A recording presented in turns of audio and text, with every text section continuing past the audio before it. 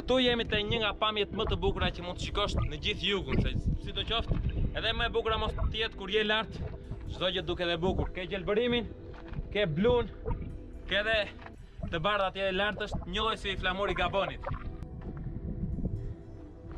Edhe nga kjo ana këtu, mbase këtu vinin topat e tjerë.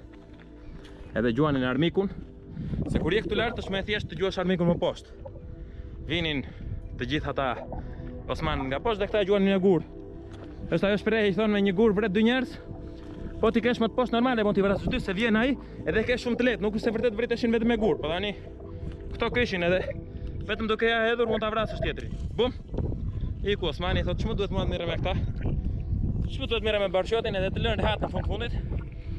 Edhe ikin vetëm menaxhojnë aty poshtë e pas 500 vjetësh që i mundim ne, i rrahim ne. Fitojmë pavarësinë e Shqipërisë, sepse ndaj normal ndaj e mbajtëm dhe dhe gjuhën shqiptare edhe të gjitha këto.